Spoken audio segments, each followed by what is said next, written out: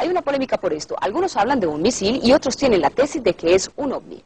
La secuencia muestra una sorpresa adicional que provocó que expertos aseguraran que el accidente se produjo luego que un ovni o un misil rozara levemente contra una de las alas del caza.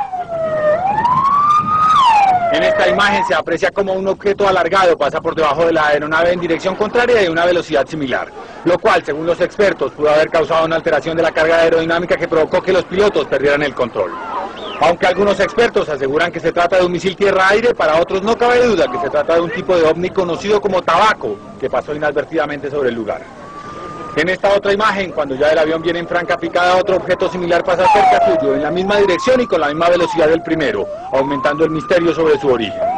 Por ahora, los dos pilotos que sobrevivieron al eyectarse del avión son los únicos que pueden aclarar la verdad sobre si hubo ovnis en el cielo ucraniano ese día, versión que parece confirmarse ante la decisión de sus superiores de separarlos totalmente luego que se conoció el nuevo video del accidente.